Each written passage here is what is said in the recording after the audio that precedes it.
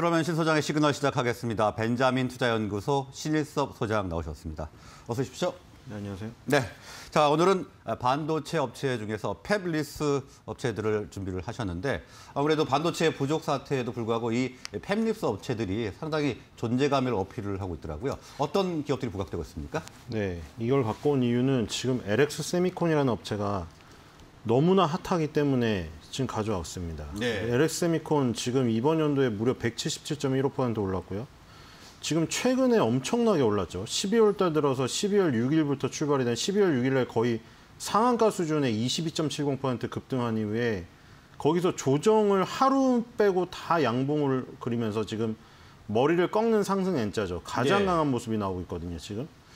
그래서 지금 LG에서 분사된 이후에 굉장히 LX 지금 이 계열사 중에 가장 두각이 나타내는 흐름이 나오고 있습니다. 지금 LX 인터내셔널 그리고 LX LX 쳐보세요. LX 하우시스 지금 LG 하우시스에서 다 바뀌었고요. 네. LG 하우시스가 L- LX 하우시스로 바뀌었고 LG 세미콘 아, L- LG 인터내셔널도 LX 인터내셔널로 바뀌었고요. LX 세미콘은 실리콘웍스가 바, 바뀐, 겁니다. 지금 LG 하우시스는 여러분들 다들 아시다시피 지금 지인이라는 브랜드로 한샘하고 현대리바트가 그 장악하고 있는 그 시장을 지금 적극적으로 공략하고 있고요. LG 인터내셔널은 지금 상사업체였잖아요. 그래서 뭐 예전에 대우 인터내셔널, 지금 현재 포스코 인터내셔널, 그리고 이 LG 인터내셔널이 지금 전부 다 무역업을 기본적으로 상사업을 하다가 그게 돈이 안 되니까 자원업으로 다 돌렸죠. 그래서 뭐 미얀마 가스전도 개발을 하고 아니면 뭐 캄보디아나 이런 데 자원 있는 쪽에 뭐 그 원유라던가 유전이라던가 가스전을 사서 그거를 지금 trading하는 혹은 곡물을 trading하는 그런 사업을 하고 있었습니다. 그리고 LX 세미콘은 실리콘웍스라는 회사였죠. 그 실리콘웍스는 LG 계열이라고 할 수가 있겠죠. 그리고 LG 향이었고 LG 디스플레이, 뭐 LG 이노텍, 그리고 LG 전자, 그리고 실리콘웍스로 이어지는 이런 라인들이 형성되어 있었고요. 근데 지금 LX로 지금 그룹이 바- 분사가 되면서 L자는 L자는 그대로 갖고 왔지만 이제 LG의 색채를 지우고 지우고 자기네의 어떤 그 사업의 드라이브를 걸려고 지금 하는데 지금 세 개 중에 LX 세미콘이 엄청나게 돋보이는 지금 상승세가 나타나고 있습니다. 예. 지금 LX 하우시스는 오히려 밑으로 꺾였고 이거는 지금 보, 보시면은 의외로 건자재들이 다른 거는 가는데 한샘이나 현대 리바트나 이런 것들은 밑으로 다 꺾였어요. 지금 똑같죠? 한샘, 현대 리바트, LX 하우시스가 전부 다 밑으로 꺾여가지고 지금 다시 전저점을 향해서 가고 있습니다. 네. 그러니까 지금 얘네들은 지금 이케아가 들어왔던 그 시점에 가장 뜨겁게 달아올랐지만 그 이후에 정점이 지난 것으로 판단이 되고요. 그리고 LX 인터내셔널도 마찬가지입니다. 굉장히 잘 나가는 듯 했다가 지금 다시 밑으로 꺾이고 있습니다. LG 인터내셔널이었다고 말씀을 드렸고요. 그리고 포스코 인터내셔널 똑같습니다. 포스코 인터내셔널하고 LX 인터내셔널하고 잘 나가는 듯 하다가 결국에는 기술적으로는 지금 120개월 선에 부딪혀가지고 다 꺾이고 있어요. 그러니까 이런 것들도 뭐 지금 국제 원자재 가격이 오미크론 변이로 해서 빠지고 뭐 이런 부분 때문에 빠지는 것 같아요. 근데 유일하게 독야 청청 가고 있는 게 바로 LX 세미콘이거든요. 그렇죠? 그래서 네. 지금 LX 세미콘을 이그 일단 앞세워서 LX가 성과를 지금 보여줄 거죠. 왜냐면 LX가 분사를 예를 들어 예를 들어 우리도 마찬가지잖아요. 뭐 잘 되는 집이 있었어요. 동업을 했어요. 근데 너무 잘 됐는데 내가 내일은 건 상호를 걸고 장사를 하고 싶어요. 그래서 뭐 예를 들어 칼국수 집을 했다고 칩시다. 친구랑. 근데 칼국수 집이 대박이 났습니다. 근데 내 이름은 아니고 친구랑 같이 했기 때문에 공동 상호를 썼었어요. 그래서 아 나는 내 이름 건 간판을 달고 할 거야 해서 독립을 했으면 그러면 그 사람의 마음가짐은 어떨까요? 그 사람의 마음가짐은 친구랑 독립해서 나도 독립해서 혼자 할 수 있다는 걸 보여주기 위해서 엄청나게 열심히 합니다. 처음에. LX도 마찬가지죠. LX도 지금 어, 분사된 지 얼마 안 됐기 때문에 뭔가 성과를 보여줘야 돼요. 성과를. 그 임직원들한테도 보여줘야 되고 주주들한테도 보여줘야 되기 때문에 굉장히 열심히 드라이브를 겁니다. 근데 그중에 지금 실리콘웍스, 이전에 실리콘웍스 지금 LX 세미콘이 급등을 하고 있기 때문에 일단 여기에다가 모든 역량을 집중시킬 것 같아요. LX 세미콘은 아까 말씀드렸다시피 LG 향이었습니다. 실리콘웍스가 팹리스라고 했고 팹리스에 대해서 다시 설명을 드리면 비메모리 반도체 시장으로 넘어오면서 분업화가 이루어졌던 것이죠. 메모리 반도체 쪽 시장에서는 IDM이라고 부르는 종합 반도체 기업이 설계에서 최종 packaging 검사까지 다 했죠. 삼성전자, SK 하이닉스, 인텔, 마이크론 테크놀로지가 주도해왔던 시장이에요. 그래서 삼성전자, SK하이닉스, 마이크론 테크놀로지는 아직도 DRAM하고 NAND flash라는 메모리 반도체의 대표 그 대표에서 굉장히 강한 걸 갖고 있고 그리고 인텔 같은 경우에는 사실 10나노 밑에 경쟁에서 뒤처지는 바람에 혼자 빠져버렸잖아요. 그래서 지금 뭐 다시 절치부심하고 있는데 그것들이 이제 주도 주도 패권이 비메모리 반도체 쪽으로 넘어왔기 때문이에요. 그러니까 DRAM하고 NAND flash라고 불리는 거는 보통 기억 장치를 얘기하는 거고 네. 비메모리 반도체 쪽 얘기를 들으면 컴퓨터의 CPU랑 모바일의 AP가 있고 그리고 차량용 반도체가 있고 디스플레이 쪽 반도체가 있고 인공지능 반도체가 있고 뭐 여러 가지 있어. 카메라 이미지 센서 이런 것들이 있습니다. 여기 오면 은 어떻게 됐냐면 완전 분업화가 이루어져 있죠. 그래서 TSMC라는 foundry 업체가 있고 공장이 없이 설계만 해주는 팹리스 업체가 있습니다. 그거를 연결다리를 해주는 chipless 업체가 있고 맨 끝에 OSAT 업체가 있다고 말씀을 드렸죠. LX 세미콘은 그 분업화된 비메모리 반도체 시장에서 맨 초반에 맨 1번 타자에 있는 팹리스 기업이에요. fab이 없고 fab이 없다는 거죠. 설계만 해주는 업체입니다. 네. 설계를 해줘서 그걸 파운드리 업체에 넘기는 건데 그 사이에 그 설계도를 조금 가공해주는 chipless 업체들이 존재하는 것이죠. LX 세미콘이 지금 굉장히 이렇게 강한 것은 우리나라 국, 국내 팹리스 업체의 어떤 그 뭔가 좀 위상이 높아지는 신호탄 그런 걸로도 좀 볼 수가 있는데 여기에서 지금 가장 그 유명한 회사는 미디어텍과 퀄컴입니다. 퀄컴이 한동안 1위였다가 대만의 미디어텍이 1위로 올라섰어요. 예. 대만의 그 지금 파운드리 업체를 그 주도를 하고 있는 TSMC의 영향력이 결국에는 생태계 전부에 영향을 미쳤다고 볼 수밖에 없겠죠. 지금 LX 세미콘이 주력으로 하고 있는 비메모리 반도체는 무엇이냐? 지금 퀄컴이 하고 있는 것은 AP죠. 스냅드래곤이라는 이름으로 우리 핸드폰에 안드로이드 폰에 탑재가 되고 있고요. TSMC가 만드는 칩은 애플의 아이폰에 탑재가 되고 있습니다. 근데 LX 세미콘은 뭘 하냐? 그런 성능 높은 모바일 AP라던가 컴퓨터에 뭐 인텔에서 만드는 최신형 DDR5가 들어가는 그런 최신형 CPU를 만들지 않아요. LX 세미콘이 하는 것은 디스플레이 드라이브 구동칩이라고 영어로 DDI입니다. LX 세미콘의 DDI 매출 비중은 무려 80%예요. 예. 이게 뭐냐면 RGB랑 관련된 건데 옛날에 혹시 브라운관 TV 보시다가 뚱뚱이 TV, 뚱뚱이 TV 보고 그 돌리는 거 응팔에 나오는 TV 어렸을 때 보다가 갑자기 화면 조정 시간이 나오, 갑자기가 아니라 밤 되면 화면 조정 시간 들어가죠. 예. 화면 조정 시간에 그 동그라미 쳐주고 네모 막 그 요즘에 웨이퍼 같이 생긴 거 나오는 거 기억나시죠? 네. 거기에 검정색 있고 red 빨간색 있고 green 초록색 있고 B blue색 있어요. 그게 그게 RGB예요. 적록청이죠 우리나라 말로는. 그 세 가지 색깔로 화면을 구현해 주는 거예요 TV가. 근데 이 반도체는 디지털 신호를 RGB를 아날로그 신호로 변환해서 화면에 나타내 주는 거예요. 우리가 그 화면 조정 시간에 그 색깔들이 나왔던 것들 기억나시죠? 어렸을 때 선경 비디오 테이프 보면서 호암마마 나오고 본 다음에 끈 다음에 이제 잠자려고 하면 화면 조정 시간이 나오잖아요. 애국가 나오고 나서 그 화면 조정 시간에 나왔던 그 색깔이 괜히 나오는 게 아니에요. 네. RGB 색깔이에요, 그게. 그래서 그거를 화면을 구현, RGB 색깔을 섞어가지고 구현시켜 주는 게 DDI의 역할입니다. 그러니까 스마트폰 그리고 TV 디스플레이 패널에 전달을 시켜주는 거죠. 이 디지털 신호를 그쪽에 전달시켜가지고 RGB로 바꿔줘서 화면을 우리가 그것 때문에 볼 수가 있는 거예요. 이 DDI라는 칩 때문에. 근데 이제 코로나19 국면에 지금 굉장히 수혜를 많이 봤다고 할 수가 있겠죠. 왜냐하면 코로나19 국면이어서 지금 또 뭐 사회적 거리두기 지금 나오고 지금 나왔죠. 전국 4인, 4인 뭐 모임 하고 네. 금지한다던데. 사적 모임. 동일하게 네 명까지로 이제 네, 사적 모임. 인원 네, 4인으로 제한한다는데. 자 이러면 또 집에 있겠죠 집에. 그러니까 물론 신규 수요가 창출되진 않을 것 같아 이제는. 왜냐하면 학생들 제가 말씀드렸는데 신학기 내년 맞는다고 해서 지금 갤럭시 탭 하나 더 사준다고 하면 등짝 스매싱 맞는다고 했죠. 우리가 그냥 이런 거 현학적 현학적으로 몰라, 몰라도 그냥 기본적으로 상식적으로 생각하면 되잖아요 아니 뭐 학교에서 엄마 학교에서 원격 수업하는데 내, 내 컴퓨터가 너무 구닥다리인데 선생님하고 하다가 끊기면 어떻게 해? 나 출석 출석 결석될 수도 있어. 엄마가 좋은 신형 컴퓨터를 사줬어요. 그리고 이제 또 들고 다니는 휴대용도 필요해갖고 패드를 사줬어요. 아이패드나 갤럭시 탭을. 그렇게 이제 두 세대를 갖고 있는데 이 신학기가 됐다고 내년에 엄마 나 이제 중학교 졸업하고 고등학교에서 고등학생 된 기념으로 뭐 탭 사줘. 이러면은 걔는 지금 적이 되는 거예요. 안 그래도 엄마도 지금 집에서 돌밥돌밥 하느라고 열받아 있는데. 네, 소장님 잠깐 속보를 좀 네. 보고 갈까요? 지금 아, 거리두기 단계가 조정이 됐는데요.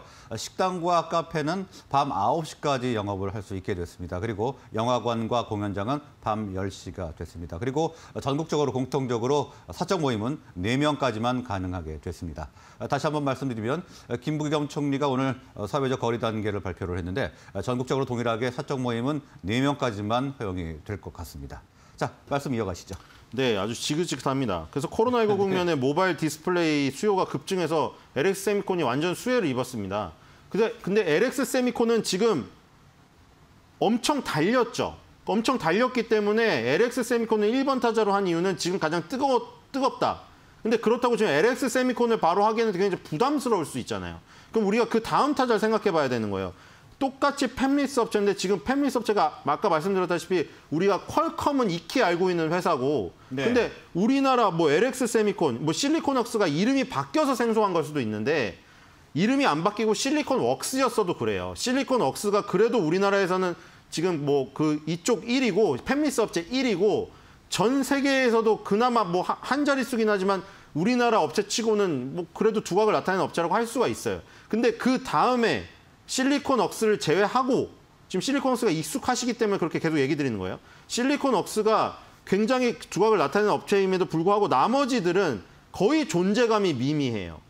근데 어쨌든 우리나라 거에서 투자를 한다고 치면 지금 LX 코세미콘 전신 실리콘웍스가 스타트를 끊었기 때문에 그럼 나머지 팹리스 업체도 좋지 않겠느냐 해서 이걸 알아보는 거예요. LX 세미콘을 나침반 같이 생각을 하세요. LX 세미콘은 비메모리 반도체 쪽에서 팹리스 역할을 담당하고 있는데 공장이 없는데 어떤 거를 설계한다? DDI, 디스플레이 구동칩을 설계한다. 여기까지. 그리고 코로나19 때 수혜를 많이 입었으나 등짝 스매싱을 맞, 맞는 애들 때문에 이제 더 이상 사질 않을 거다. 그렇죠? 상식적으로.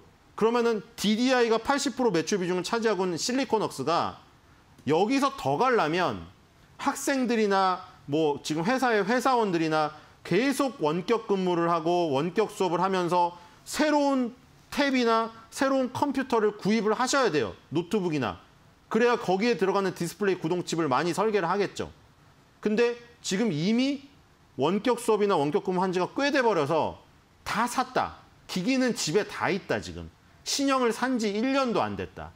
그 새로운 수요가 나올 것이냐 하는 거에 대한 이제 그걸 따져보고 들어가야 되는 거죠. LX세미콘은. 네. 지금 이미 뜨겁다고 뉴스에 나오고 있기 때문에. 그럼 이제 그 다음에 팹리스 업체들은 어디냐? 자, 그때 말씀드린 적이 있을 겁니다. 제주도에서 수출, 제주도에서 제주도 밖으로 나가는 판매량 1위가 귤이냐, 제주 감귤이냐, 반도체냐, 메모리 반도체입니다. 제주 감귤보다 많이 팔고 있어요. 제주, 제주도에서 메모리 반도체를. 예, 얘기하신 적 있습니다. 제주 반도체가 이 비메모리 반도체 쪽에서 얘도 팹리스 업체인데 공장이 없이 설계도만 그리는 업체인데 얘는 다른 거랍니다. LX 세미콘은 DDI를 하는데 얘는 낸드 플래시 쪽에 쓰이는 멀티칩 패키지를 합니다. MCP라고. 칩을 여러 개를 같이 패키지로 해가지고 들어가게 하는 거예요. 낸드 플래시 활용하는 제품군의 주력을 하고 있는데 여기가 뭐 어떤 MCP가 매출액 중에 MCP 차지 비중이 70%예요. 실리콘웍스는 DDI가 80%고. 근데 제주 제주 반도체에서 만드는 거는 저전력 저성능 메모리 반도체예요. 그러니까 예. 우리가 삼성전자, SK하이닉스 메모 마이크론 테크놀로지가 마이크론 테크놀로지가 형성해 놓은 디램과 낸드 플래시 쪽에서는 그 디램 낸드 플래시도 무슨 경쟁을 하고 있죠? 디램에서는 막 14나노 경쟁을 하고 있고 낸드 플래시 쪽에서는 무슨 뭐 128층을 쌓느니 256층을 쌓는 이 경쟁을 하고 있잖아요. 제주 반도체, 메모리 반도체는 그쪽에서 경쟁을 하고 있지도 않죠. 껴주지를 않아요. 얘네가 하는 메, 이 메모리 반도체는 어디 쓰이냐? 택배 기사님들 오토바이 타고 지나다니시는 거 보면은 무슨 탭 같은 거 막 세 장씩 피, 펴 있죠. 병풍처럼. 네. 그리고 거기 뭐 주문 어디서 들어오면 뭐 주소지 치고 드- 가시는 거 보셨을 거예요. 운전하다가 옆에 택배 기사님 또 오토바이 탄 거. 그 단말기에 들어가는 그런 반도체. 네. 그리고 스마트폰으로 보일러 집에 있는 거 조정하는 거 있죠. 밖에서 원격 조정으로. 네. 그 정도 수준의 기기에 들어가는 반도, 메모리 반도체를 취급을 합니다. 저성능 저전력 반도체죠. 근데 제주 반도체는 지금 실리콘웍스, LX 세미콘처럼 가지를 않았죠. 그러니까 우리가 팹리스 업체가 실리콘웍스가 먼저 스타트를 끊었고 팹리스 업체 다른 쪽으로 국산 팹리스 업체에 전파되는 거를 생각했을 때 그럼 다음 타자는 누구냐 했을 때 제주 반도체가 유력하다는 것이죠. 제주 반도체가. 그렇죠? 그다음에 마지막은 차량용 반도체 쪽입니다. 지금 가장 얘기가 또 많이 나오고 있는 것이죠. 차량용 반- 반도체 쪽. 엔비디아라는 업체도 뛰어들고 있고요. 퀄컴도 스냅드래곤이라는 이름으로 차량용 반도체에 뛰어들고 있고요. 예. 삼성도 여기 AP에선 엑시노스를 이름을 그대로 갖다가 엑시노스 AP를 이제는 엑시노스 MCU라고 해서 거기 차량용에 탑재하려고 하고 있어요. 이게 왜냐하면 자율주행으로 가면 지금 현재 그 뭐 현재 차량용 반도체가 작용하는 부분은 계기판에 어떤 조작되는 부분 혹은 무슨 우리가 에어컨이나 이런 거 조절하는 그 정도 수준인데 이제는 인공지능이 사람의 역할을 대체해야 되기 때문에 엄청나게 성능이 올라가게 돼요. 그러니까 퀄컴이니 삼성이니 이런 업체들도 차량용 반도체를 하는 거예요. 근데 그 전에 예전에 지금 제가 말씀드린 기초적인 차량용 반도체를 담당하고 있었던 업체는 텔레칩스입니다. 예. 자동차 오디오 비디오 내비게이션 AVN이죠. A가 오디오, B가 부- 부- 비디오, N이 내비게이션이에요. 그러니까 오디오 비디오 내비게이션은 원래부터 있었어요. 요즘은 샤크 안테나도 하는데 그 예전에 길게 뽑아서 하는 안테나 있었던 시절 있죠. 소나타 원투에. 네. 그 시절부터 했던 오디오, 비디오 그리고 내비게이션 초창기에 출시되었던 정말 단순하잖아요. 솔직히 말씀드려서 뭐 그냥 93.1 돌리면은 클래식 나오고 맞죠? 107.7 돌리면 SBS 뭐 라디오 나오고 이런 이런 거에 관련된 반도체예요. 그 비디오라고 해봤자 계기판이 형성되는 그런 디스플레이 얘기하는 것이고 내비게이션도 그냥 내장된 기본적인 거 얘기하는 거예요. 그런 거에 들어가는 저성능 AP 역할을 하긴 하는데 어플리케이션 프로세스인데 모, 모바일에 들어가는 어플리케이션 프로세서 두뇌보다는 훨씬 바보죠. 그러니까 바보라고 하는 건데 그런 똑똑한 두뇌가 필요가 없었던 거예요 그동안.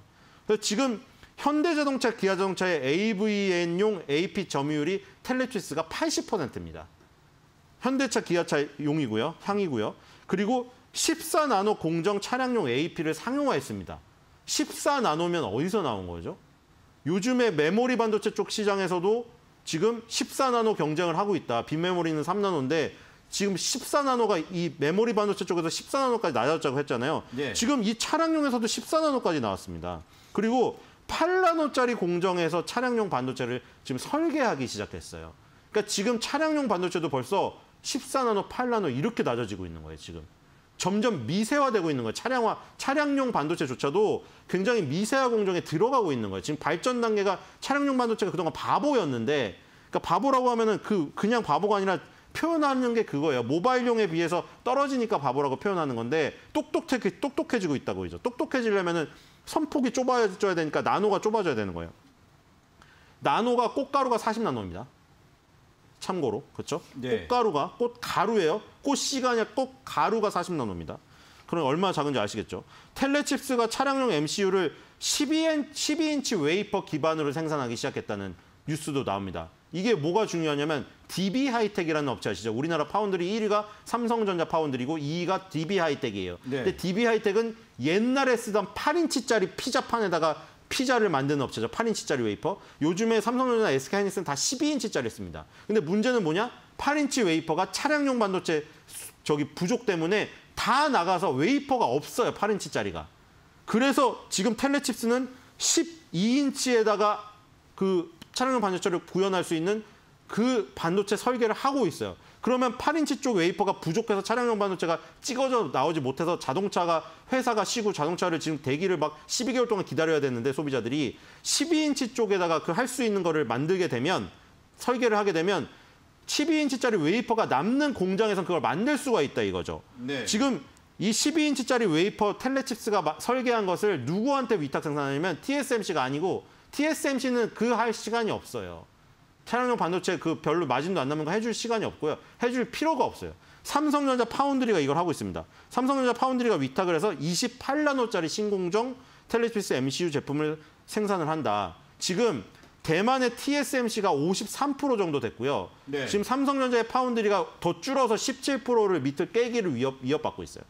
그러면은 삼성전자는 차량용 반도체가 아무리 안 남는다고 하더라도 삼성전자 파운드리 사업부를 키워야 되기 때문에 그리고 차량용 반도체가 반도체가 앞으로 성능이 계속 좋아질 거기 때문에 대만의 TSMC가 받아주지 못하는 이 상황을 이용할 수도 있겠죠.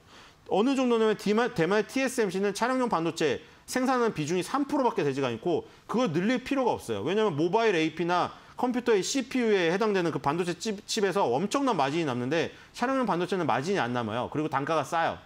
그러니까 굳이 그걸 할 필요가 없죠. 그래서 지금 대만의 TSMC는 주문이 폭주돼서 생산 lead time이라고 하죠. 주기가 원래 12주에서 16주였는데 지금 26주에서 38주로 연장이 됐어요. 어, 두 배도 넘네요. 이렇게 연장이 됐는데 차량용 반도체를 만들어 달라고 설계 도면을 내민다고 해서 누가 받아주겠어요, TSMC가.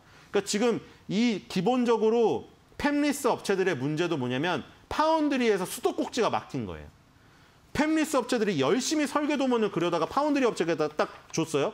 근데 파운드리 업체는 우리 지금 생산이 100% 돌아가고 있으니까 설계 도면 놓고 가세요 이래요. 그럼 설계 도면이 그 파운드리 공장 입구에 설계 도면이 이만큼 쌓여 있는 거예요. 마치 검사 판사가 그 뭐 어? 그 하는 보따리 사가지고 그 서, 서류처럼 쌓여 있는 거예요. 그만큼이. 그럼 지금 계속 설계도를 갖다 줘봐야 계속 밀려 있는 거예요. 그러니까 지금 그러면 12인치짜리 웨이퍼로 만들 수 있는 차량용 반도체 설계도면을 그렸다고 해도 TSMC에 갖다 주면 이걸 못 만들어요, 지금은. 그래서 삼성전자 foundry에 갖다 주는 거예요, 지금. 그러니까 지금 텔레칩스, 삼성전자 파운드리, 그다음 최종 end user 누구죠? 현대자동차, 기아자동차. 그러면은 텔레칩스가 12인치 웨이퍼의 설계 도면을 그려서 만들 수 있는 차량용 반도체 설계도를 갖다 줬는데 삼성 바, 삼성전자 foundry에서 TSMC가 못하는 걸 그걸 해준다. 그러면 현대자동차, 기아자동차는 다른 외산 메이커보다 지금 차량이 빨리 출수, 출고가 될 수가 있겠죠. 그럼 GV60이 지금 13개월 기다려야 받을 수가 있는데 뭐 12개월 밑으로 줄어들 수도 있겠죠. 그러니까 텔레칩스의 그런 역할은 삼성전자 파운드리와 함께 커가서, 커가서 자동차 업계에 지금 반도체 대란 때문에 못, 빠져, 못 빠져나오는 것을 도와줄 수 있는 역할이다. 그리고 텔레칩스도 지금 주가가 가지 않았죠. 그래서 우리가 LX 세미콘이 지금 어떤 신호탄을 터뜨렸다고 볼 수가 있어요.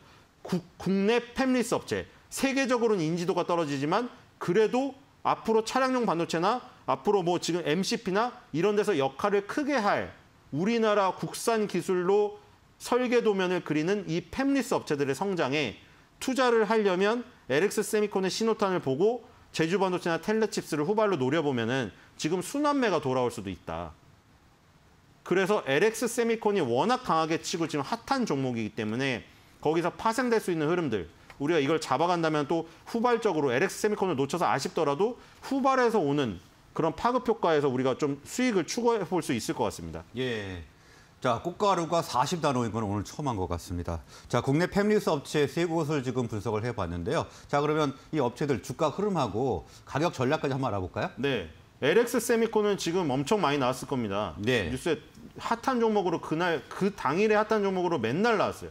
그래서 지금 LX 세미콘은 이미 월봉의 RS가 80 수준이라 굉장히 부담스럽습니다. 이거는 사실 지금 보유자분이 언제 팔까, 어느 정도 이익 실현을 할까, 그거를 때릴 것을 지금 생각하고 있어야 될 타이밍이고 예. 제주 반도체 같은 경우에는 지금 다시 20개월선 위에서 쌍바닥을 그리면서 RSI도 60 수준이죠. LX 세미콘의 80 수준보다는 20이나 낮은 수준이에요. 예. 여기서 만약에 이 박스권 상단 부분 2012년과 15년의 고점 여기 근처를 한번 뚫으려고 타진하러 간다고 하면 간다고 하면은 만 원대 근접하는 거고 네. 만약에 거기를 뚫는 장대 양봉이 나온다 그러면은 여기서 이제 그 과열권에 접어들겠죠.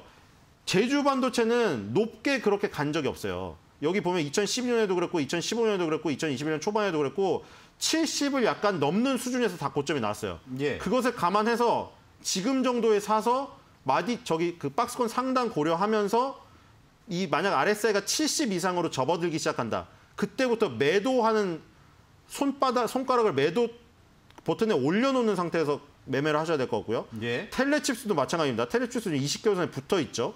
붙어 있어서 여기서 지금 다시 가게 된다면 2만 원 선을 노려볼 수 있을 것이고요. 2만 원 선이 넘는 장대 양봉이 나오면 2015년처럼 또 RSI가 고점에 넘었었겠죠. 이거 이것도 마찬가지예요. 텔레칩스도 그렇게 올라갔던 적이 없어요. 2006년을 제외하고 20년의 구간 동안 그렇게 올라간 적이 2015년에 살짝 올라간 거 하나밖에 없습니다. 예. 이것도 70이 넘었으면 일단은 상식적으로 확률에 기대해 가지고 팔려는 생각을 하셔야겠죠. 비슷한 모습이네요. 네. LX 세미콘은 2015년과 18년에 조금 색이 칠해질 적- 정도까지 올라갔었던 적이 있어요. 그게. 그래서 네. LX 세미콘은 좀 더 갈 때 좀 강하게 가고 텔레칩스 제주 반도체는 그만큼 포텐이 못 터졌다고 볼 수가 있겠습니다. 예. 일단 포텐이 터질 것을 너무 가정하지 말고 확률적으로니까 20년간의 그 과정을 확률적으로 계산을 해서 제주 반도체나 텔레칩스 같은 경우에는 과열권에 접어드는 순간부터 매도 타이밍을 그 노리는 그 전략으로 가야 될 것 같습니다. 네, 오늘은 존재감을 뽐내고 있는 국내 팸리스 업체 세 곳을 분석을 해봤습니다. 오늘 말씀은 여기까지 듣겠습니다. 고맙습니다. 네.